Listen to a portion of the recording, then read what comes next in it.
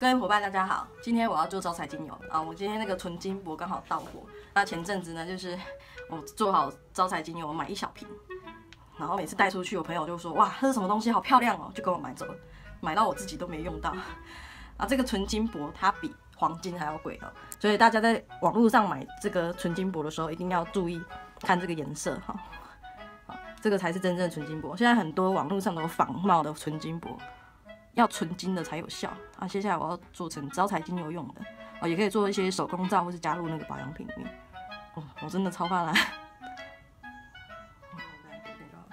好，然后有些人问我说要用哪些精油，那我今天用六种精油，就是野菊、佛手柑、好檀香木精油、天竺葵、岩兰草这五种精油。那檀香木呢，我选择夏威夷跟印度檀香木这两种混搭在一起。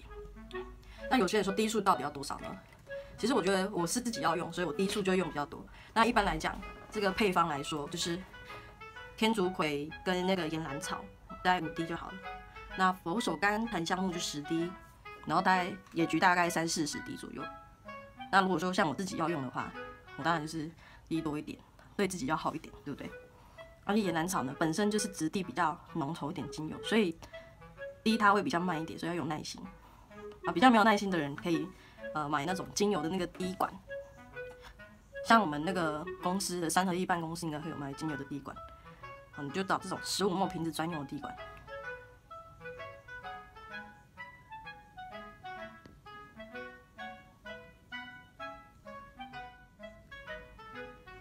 像这个纯金补，其实就是大概纯度大概九十八以上就可以吃，好，但你不要随便乱买，万一你买到假的，吃坏肚子。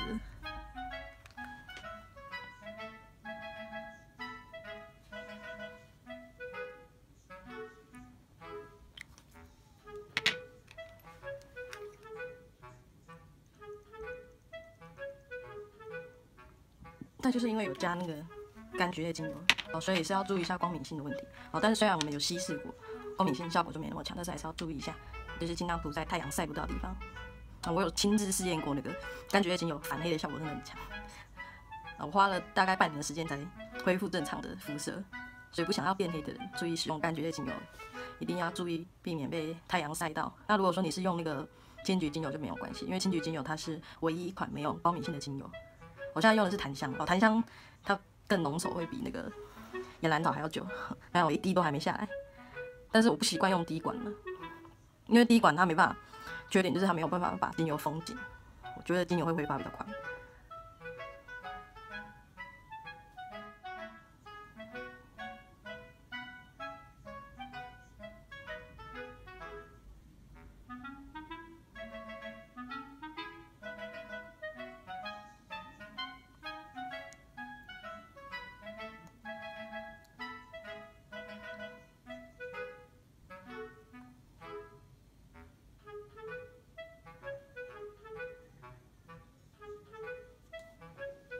那您直接打开也是要滴很久。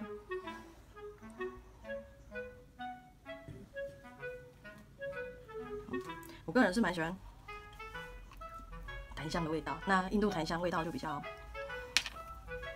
比较像那种庙庙庙里面那个烧香拜拜那种味道。那夏威夷檀香会比较香甜一点。把全部倒下去，对自己好一点。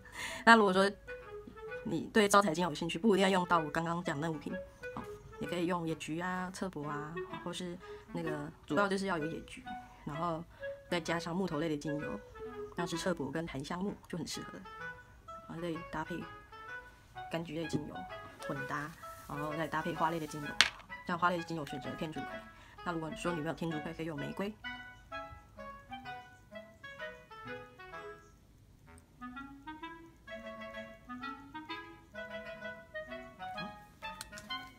之后嘞，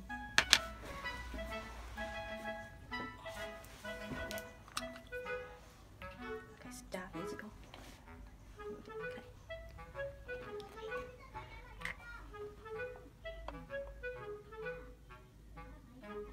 OK，这样子招财精油大功告成，大家可以稍微看一下。好，再做完但是记得摇一摇。